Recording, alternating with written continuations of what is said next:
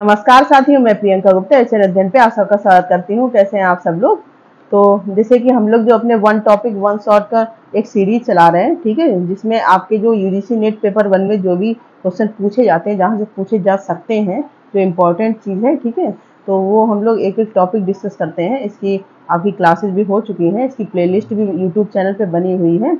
अगर आप लोग ने अभी तक नहीं देखी है तो वो प्लेलिस्ट में जाके ये टॉपिक देख सकते हैं, क्योंकि इससे डायरेक्ट आपके एग्ज़ाम में क्वेश्चन पूछा जाता है तो वही टॉपिक आपके यहाँ पे करवाए जा रहे हैं, जिससे आपके क्वेश्चन बन सकते हैं, ठीक है? तो यहाँ पे आज हम लोग जिसके बारे में पढ़ेंगे, वो है दीक्षा ऐप। अब ये दीक्षा ऐप क्या है?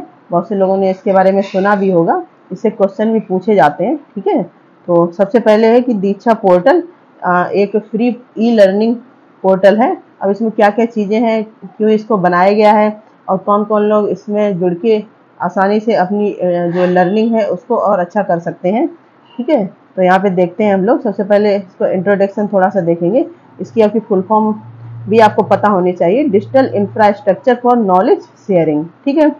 तो मेन ये जो आपका दीक्षा ऐप बनाया गया है टीचर्स के लिए बनाया गया है। इसके अलावा भी आप इसमें स्टूडेंट भी अपने कंटेंट देख सकते हैं। इसमें अलग से आपकी क्यू आर कोड पे आधारित किताबें दी गई हैं, ठीक है? जैसे आप एन e की बुक्स देखते हैं तो उसमें आप देखते हैं कि क्यू आर कोड दिया होता है इसको स्कैन करके आप सीधे उस लेसन का कंटेंट अपने मोबाइल पे देख सकते हैं।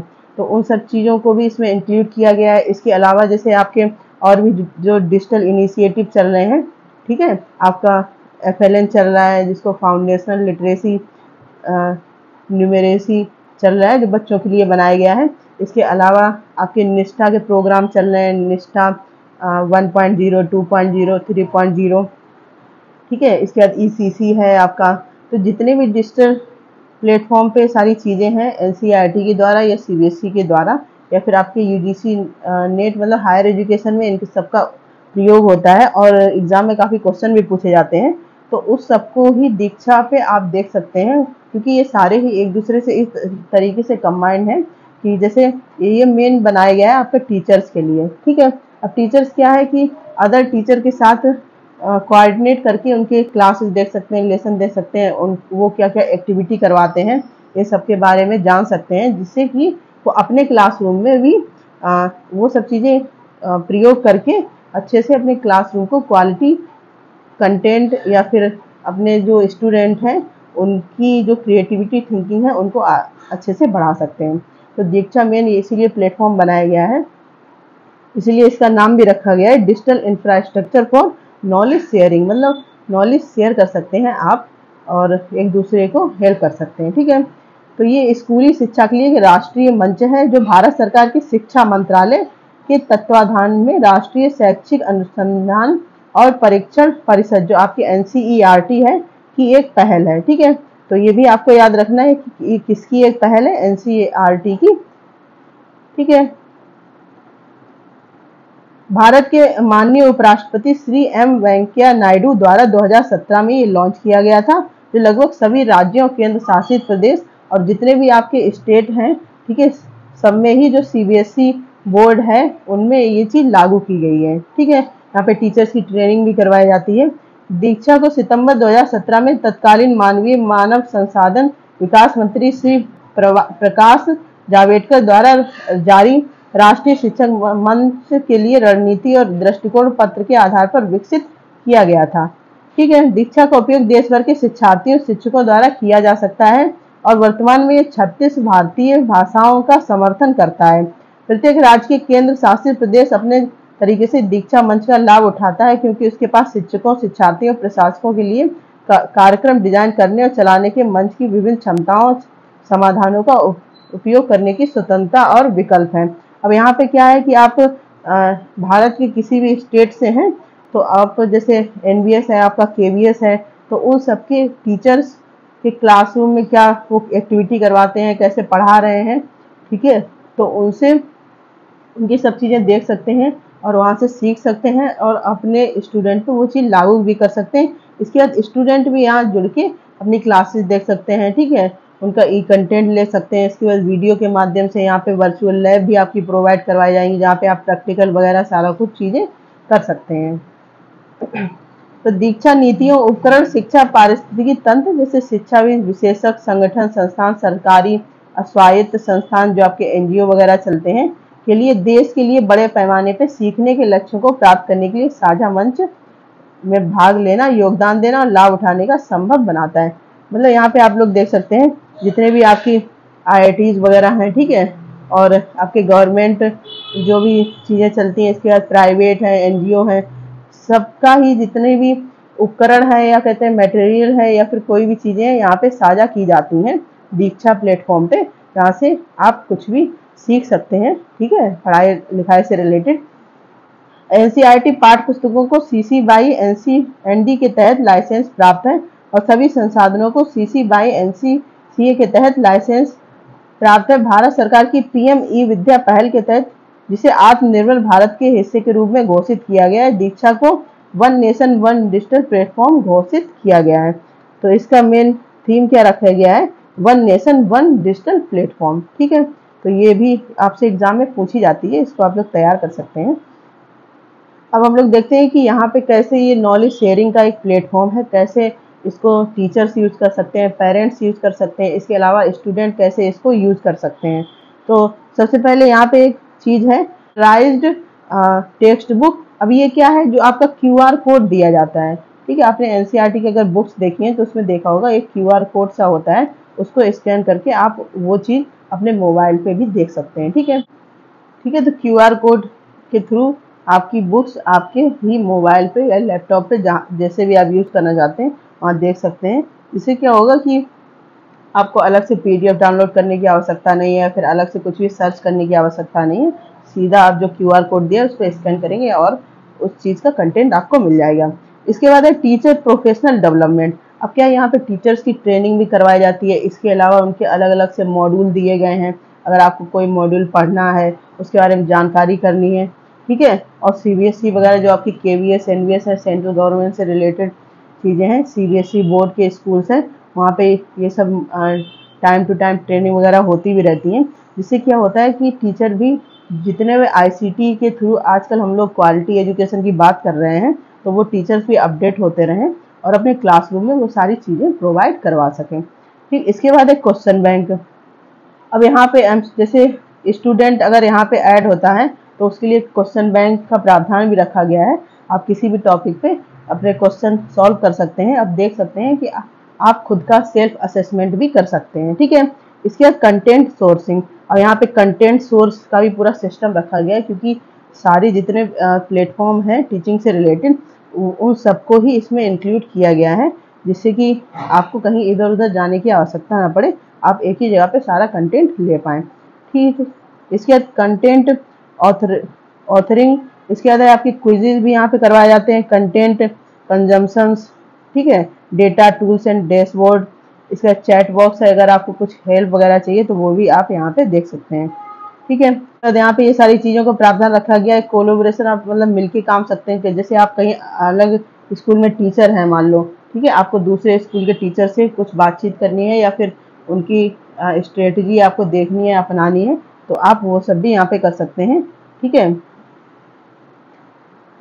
इसके अलावा है आपका सी क्यूब है सर्वे वगैरह, है लैंग्वेज ट्रांस यहाँ पे बहुत सारे लैंग्वेज में आपको कंटेंट दिया जाएगा। तो यहाँ पे ऐसा आप नहीं कह सकते कि कोई लैंग्वेज को लेके अभी लैंग्वेज की प्रॉब्लम यहाँ पे नहीं रहेगी। मेंटरिंग अब अब जो स्टूडेंट हैं, वो भी यहाँ पे अपने कोई भी टीचर या किसी भी से कुछ अगर जानना चाहते हैं, सलाह लेना चाहते हैं, किसी बारे में पूछना चाहते हैं, वो सारी चीज़ों का प्रावधान रखा गया है, ठीक है? तो ये आप सारी चीज़ें देख सकते हैं। यहाँ पे है, दीक्षा एक ही प्लेटफॉर्म पे सारी चीज़ें बताई गई हैं। ये एक ओपन सोर्स है, ठीक है? जो भारत में निर्मित और भारत के लिए बनाई गई जो इंटरनेट पैमाने की प्रौद्योगिकियों को शामिल करती है, शिक्षण और सीखने के लिए कई उपयोग मामलों समाधानों को सक्षम बनाती है। दीक्षा को सनवर्ड नामक एम लाइसेंस प्राप्त ओपन सोर्स तकनीक का उपयोग करके बनाया गया है। तो ये आप देख सकते हैं, इसको किसकी तकनीक का यूज़ करके बनाया गया है, जो आपका है एमआईटी और इसको सनबर्ड ठीक है, इस तकनीक का यूज़ करके इसको बनाया गया जो सीखने और समाधानों के लिए एक डिजिटल बुनियादी ढांचा है, प्लेटफॉर्म और समाधानों के विकास के लिए बिल्डिंग ब्लॉक्स के रूप में सौ से अधिक माइक्रो सर्विसेज़ प्रदान करता है। तो मतलब यहाँ से आप बहुत सारी सर्विसेज़ यहाँ पे आपको दी जाती हैं फ्री।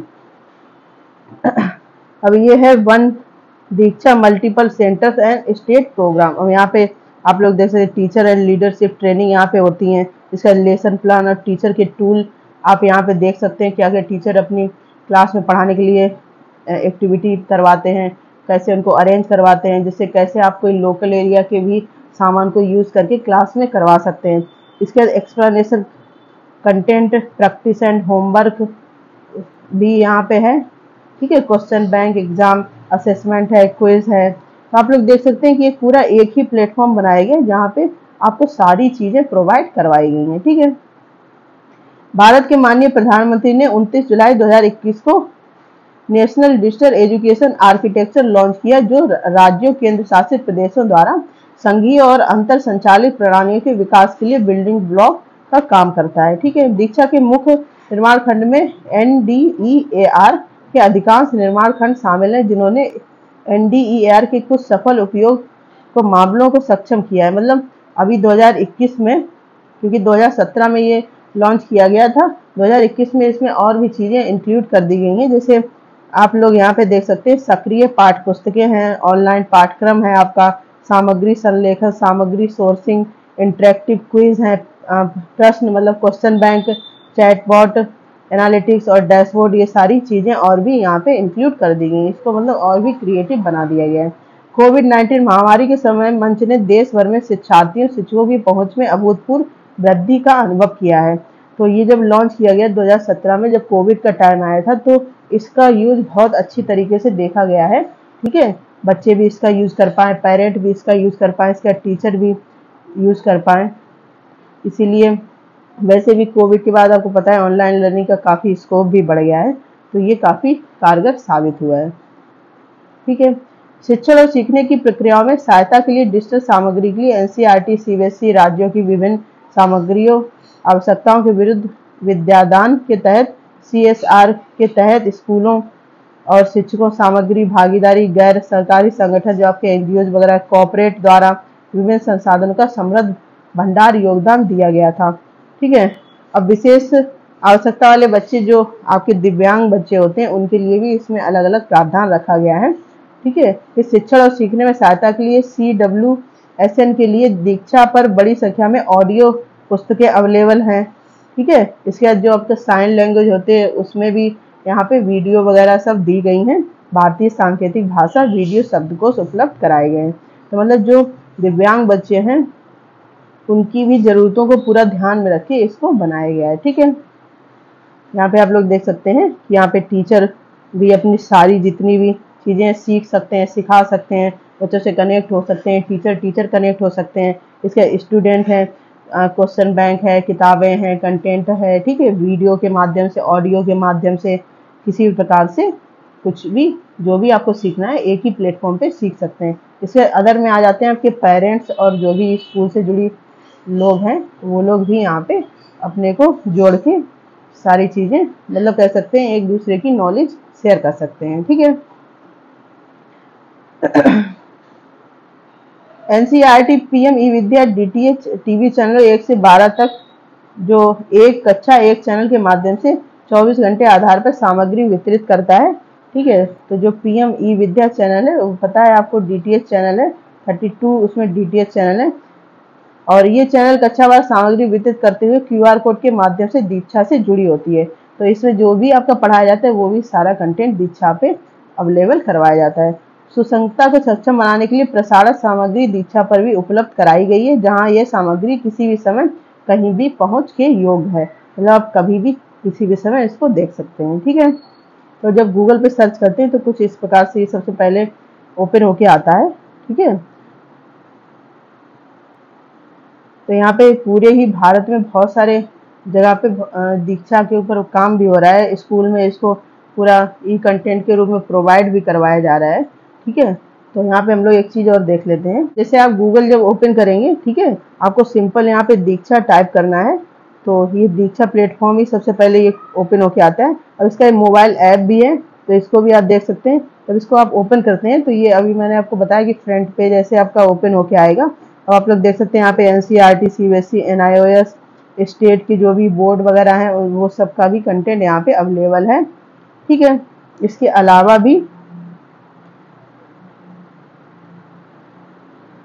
अब यहाँ पे जैसे आप लोग अगर एन पे क्लिक करेंगे, यहाँ पे एक्सप्लोर पे क्लिक करेंगे तो ये आप लोग यहाँ पे पूरी आपकी डिटेल फिल करनी होगी कि आप का नाम क्या है, आप स्टूडेंट हैं या फिर जैसे आप टीचर हैं हेड टीचर हैं पेरेंट हैं, जो भी आप करेंगे तो यहाँ पे सीधा ये सारी चीज़ें ओपन होके आ जाएँगी, ठीक है?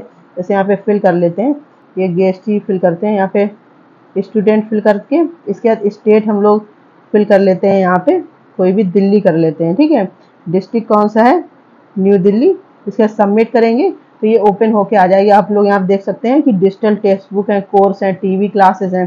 तो जैसे, अब यहाँ पे भी आपको और स्पेसिफाइड के रूप में आपको चाहिए तो यहाँ पे आप लोग ये सब भी देख सकते हैं।